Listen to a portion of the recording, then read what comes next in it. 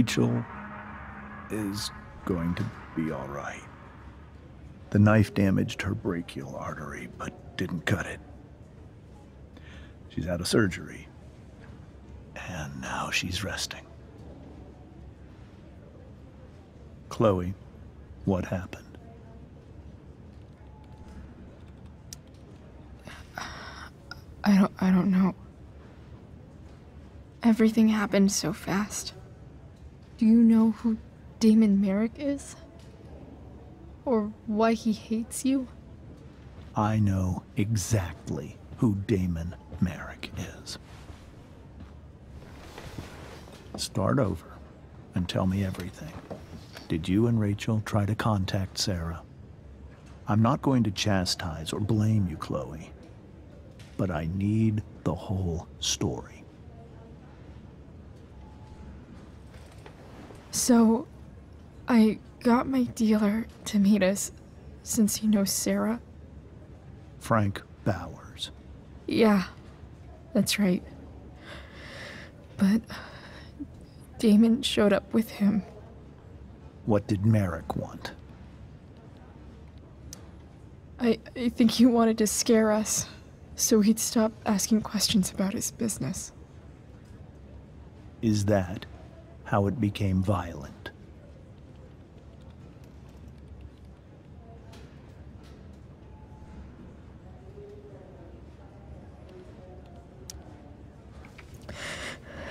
It was it was actually Rachel who got angry. She was furious that he wouldn't tell her where Sera was. This is exactly what I've been afraid of. Rachel won't let anything stop her.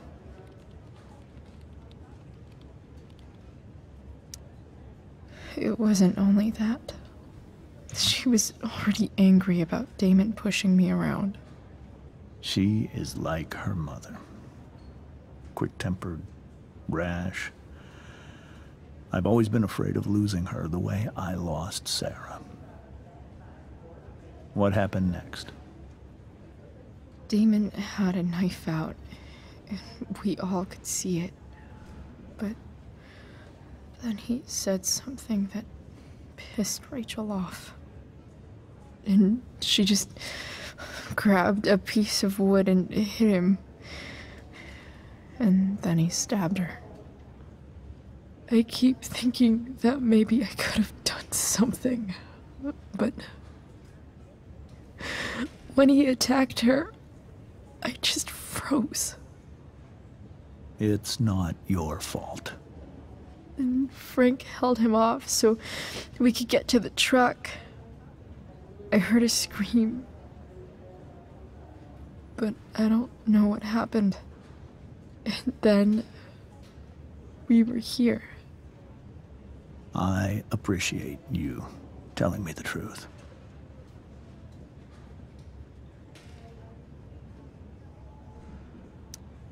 What if Rachel still wants to meet Sera? After all this, I'm hoping she'll finally see reason. I was told that if Rachel had arrived only a few minutes later, she might not have, um... Thank you, Chloe. You saved my world. It will be some time before Rachel wakes up. I promise. I'll let you know when she does. Okay. Thanks.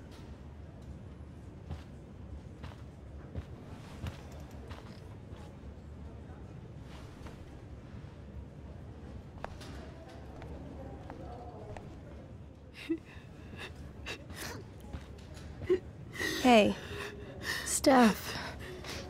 How's Mikey? Pretty good.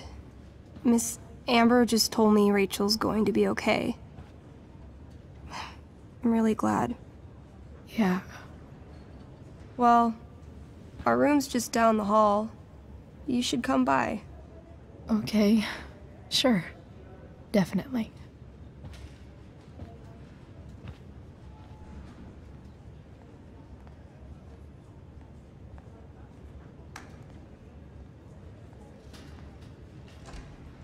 I don't think I can sit still any longer. Might as well stretch my legs while I wait for Rachel to wake up.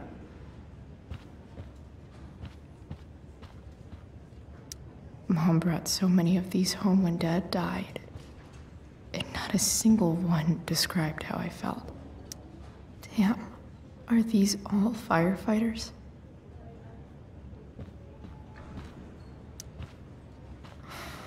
Come on. Not that I have any coins anyway. Oh man. Jackpot.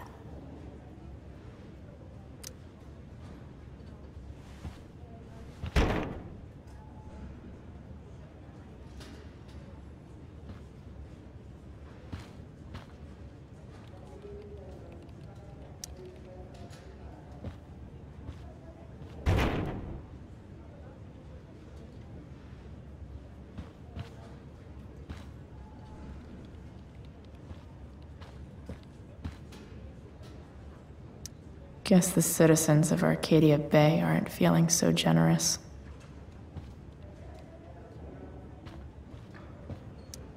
Sean Prescott.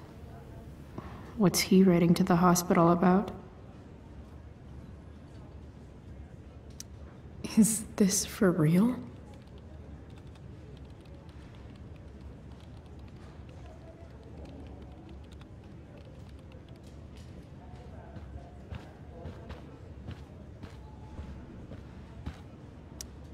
Frank's business must be booming. Shit. I really hope he. Oh, shit. I know those guys. Uh, this doesn't look like the maternity wing. There's a sign for the prenatal class. I can't believe we're finally doing this. I'm so excited. You're gonna be a good dad. I guess I'm glad we stole their wine.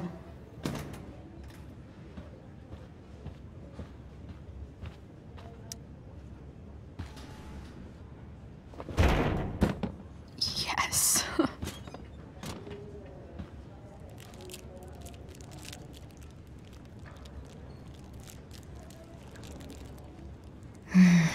I want like 20 more of those.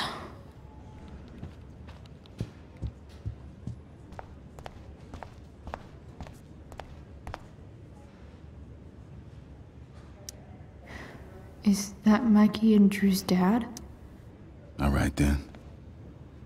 Thank you. Hi, Mr. North. That's me. And you are? I'm Chloe. You here to see Mikey? Yeah. How are, uh, how are things going? Oh, you know how it is. Ups and downs. Mikey's hurt, of course. But the doctors are saying it should heal up relatively quick. And Drew? Hey, maybe you heard. He's all set to go to Oregon State. Full ride for four years. That's. That's awesome. Hold on. You said you were Chloe.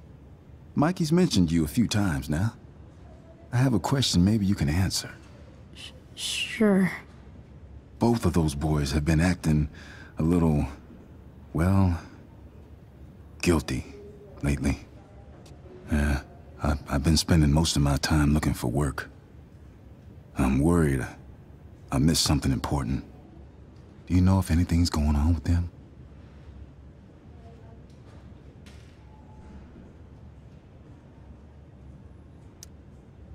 Uh, No. Sorry. This weekend was actually the first time I really hung out with them. That's all right. I appreciate that you've been keeping my boys company. Mikey said he feels a lot safer around you. He's been seeming a little scared these days. I think my work situation's disappointed him. Both of them.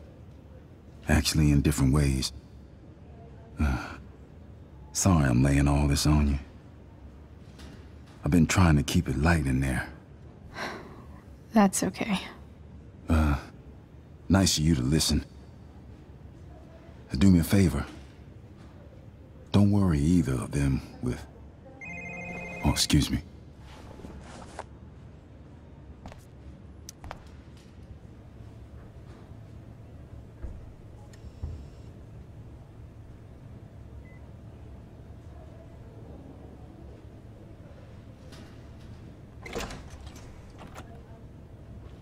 Chloe.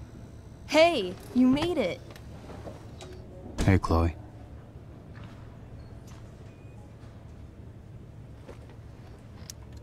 So, what have you all been up to? Yeah, homework, I guess. Yeah, homework. Totally. Sweet hair, by the way. I bet you could pull off Sailor Mercury.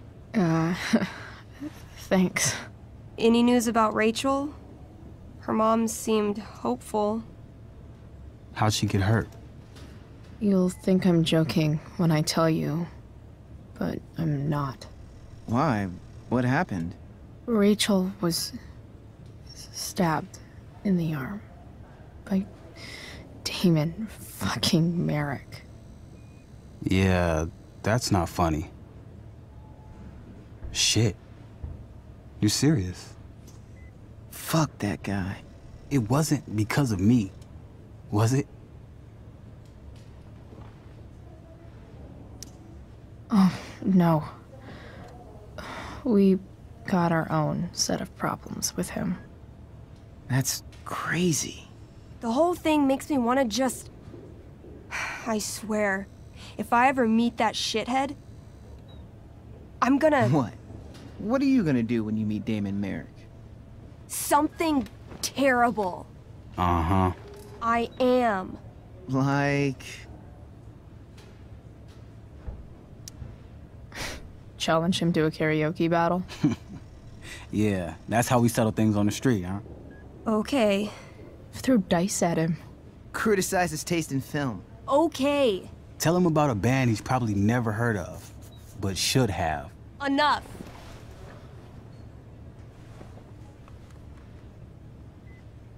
Anyway, we're glad Rachel's okay. Oh, uh, you should hang out here till she wakes up. Rachel's gonna be up soon. Should probably head over when I'm ready.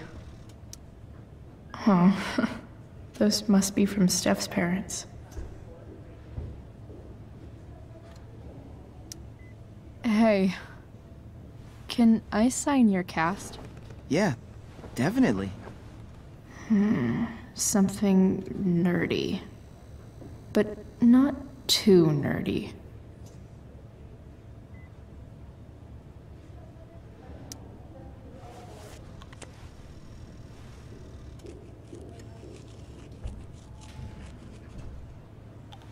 There you go. Cool.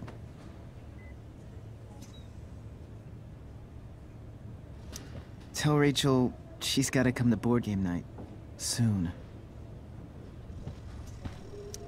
Like he's entering into a cartoon contest? I hope he wins. Look at that. Wells being nice for a change. What are you guys doing? I thought you'd never ask. I had to hide our game from the nurse. She thinks it's negatively affecting my mood. Elamon's backed himself into a pretty tight spot this time. He might not make it. Wait a sec. Calamastia. She can join Elamon in battle. Maybe the two of us together could actually make it out alive. Wait. You're into this nerd shit too? It's a game where I win if I make up crazy shit and act like a badass. So, yes. I hate to be such a game master about it, but I'm pretty sure Chloe's character died last time. Oh, yeah. Wait a sec. Didn't you have that anklet of reincarnation in your inventory? Uh, yeah. I totally did have that thing. Holy shit! So you can actually swoop in and save my ass. What do you say? Gotta save Elamon, right?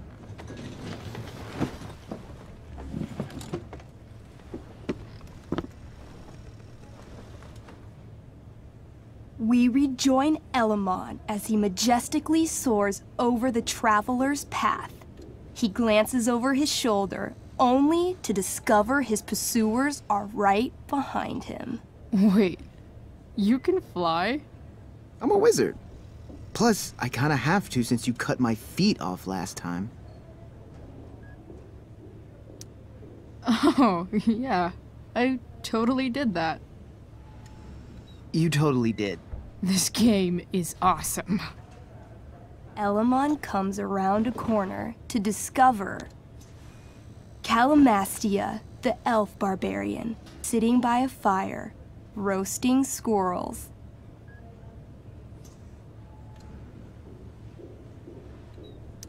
Uh, greetings, powerful Elamon. From whence do you run? Uh, uh, float. Or whatever. Funny you should ask. I'm being chased by an army of dragonkin. Remember when you killed that jailer and took his key to free the prisoners in the prison camp? Turns out you offended their entire clan. And they're after me now. Sounds like you could use a hand from your favorite elf barbarian. Well, you did manage to inflict an insane amount of damage on everything. Suddenly, Dragonkin scouts rush in, clawing you while your backs are turned. Take four damage. You're up first. What do you want to do? I do a spinning slash. 16. Good enough.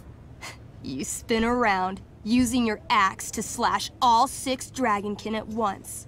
They all drop dead in a puddle of blood. Hey, nice one. Don't celebrate yet. You begin to hear the clinking armor of hundreds of Dragonkin warriors. The sound grows louder as they grow closer. And this is why I was running. Ah, come on. You can totally take these fuckers down. I just killed six of them. Those were scouts, Chloe. Warriors are four times that hard. Oh. Well, shit. Hmm. Running and living. Yeah, sounds like a plan. You sprint as fast as you can until you come across a fork in the road. One path leads into the mouth of a deep, dark cave. The other takes you into a dense, misty forest. Which way do you go? Can I, you know, feel it out first? Totally. Roll for perception. Ugh. 13? Despite the desolate look of the caves, your elvish senses tell you that something does, in fact, live inside.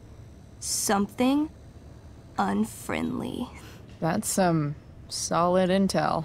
Next, you turn to the forest. Though it seems still, you sense that what's inside is not entirely at rest. Okay, come on. The dragonkin are still behind us. All right. To the forest it is. Let's go. As soon as you enter the shade of the great trees, it becomes eerily silent and very cold.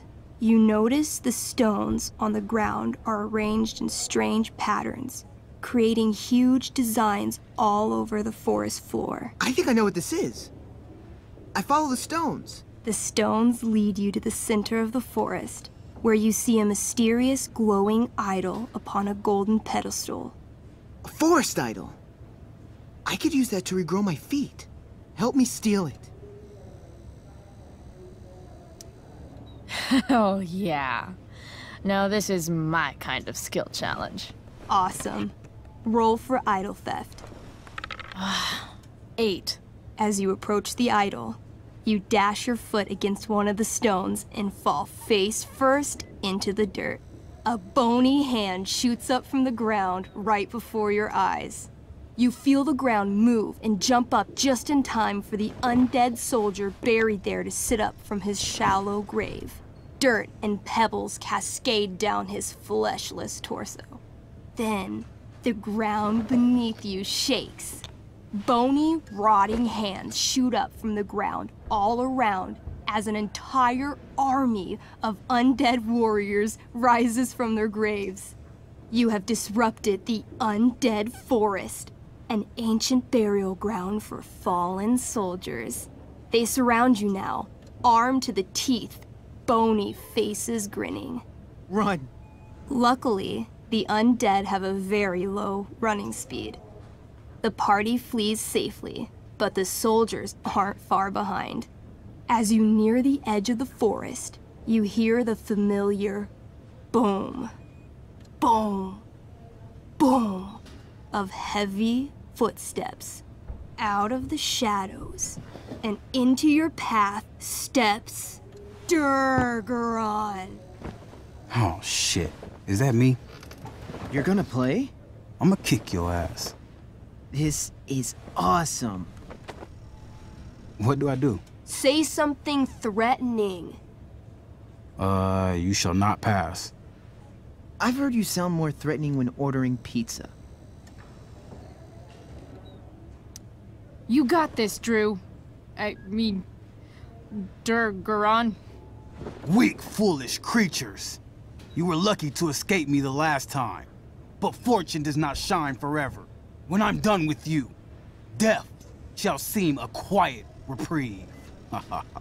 Word. I wrote that for him. Shut up.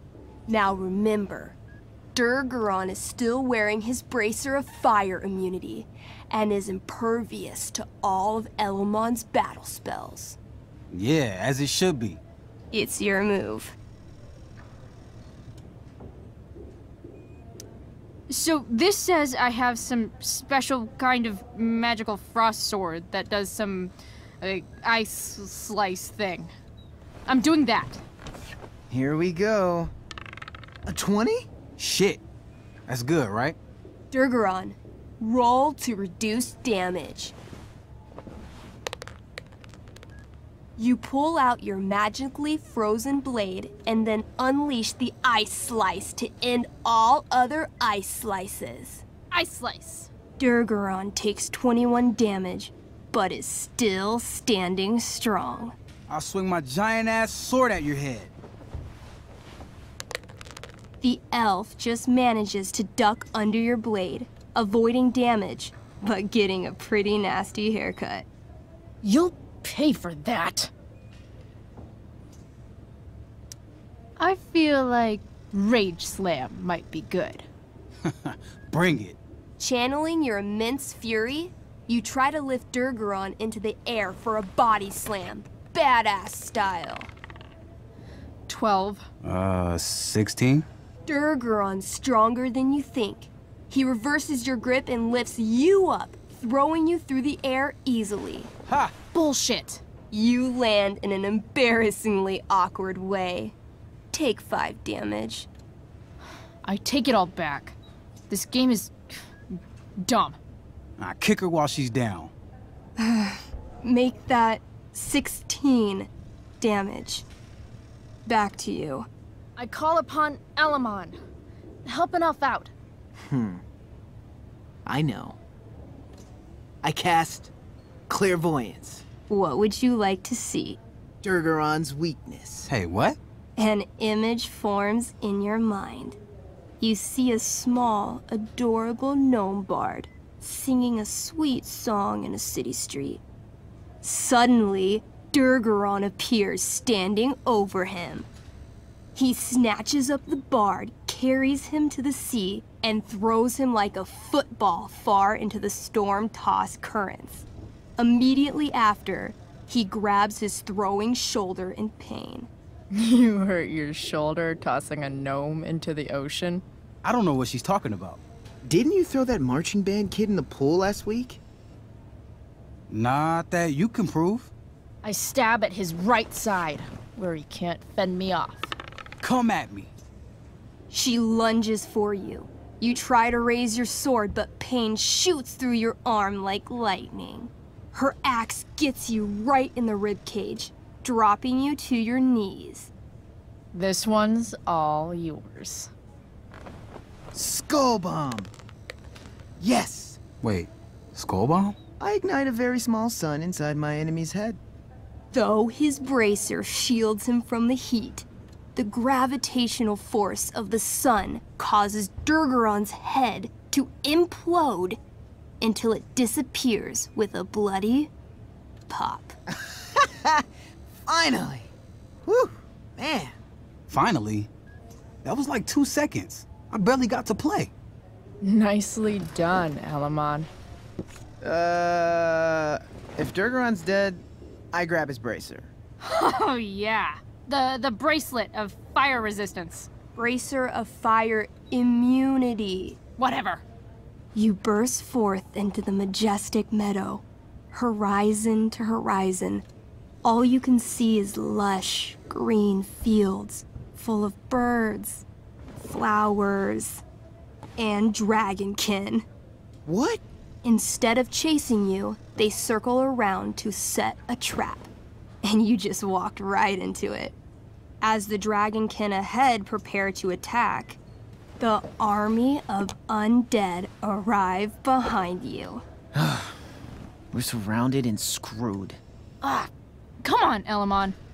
I'm sure you've got some sweet spell that'll save us. Uh, I do have Searing Crystal. Perfect! Searing crystal these fuckers. You don't get it. This isn't just another battle spell. This crystal is like... like dropping a nuke. It'll kill everything. Including you and me. Actually, you did grab Durgaron's bracer of fire immunity. Whoever wears it would survive. See? Problem solved. But there's only one bracer.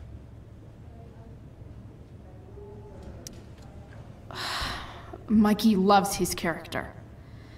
I, I can't just let him get Elamon killed.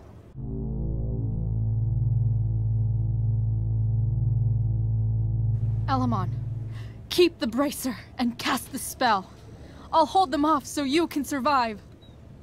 It won't work. Look at all of them. I should have never started this quest. I'm too weak.